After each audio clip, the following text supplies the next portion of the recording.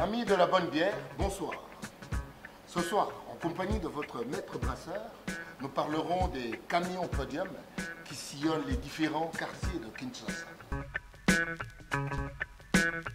Avant, lorsqu'un brasseur, après de longues semaines de recherche, trouvait enfin une nouvelle formule de bière pour réjouir le peuple, il la faisait goûter à un petit groupe d'initiés, c'est-à-dire Bakolo Gou, Bakolo Nsunga, né de ma vieux goût. Hein?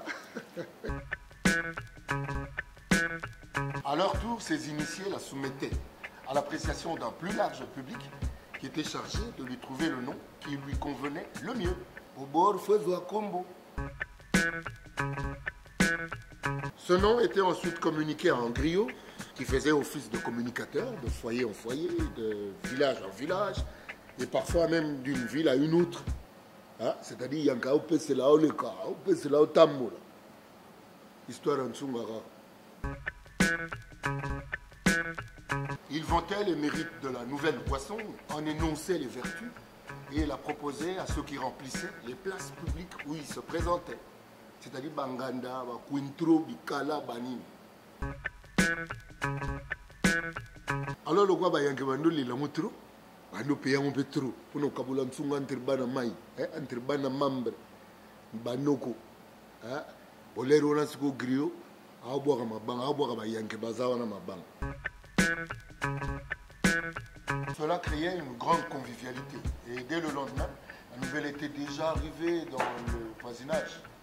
qui attendait impatiemment de recevoir le griot pour jouir des mêmes privilèges.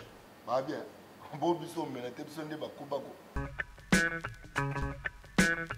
C'est ainsi qu'à l'époque, une bière était rendue populaire.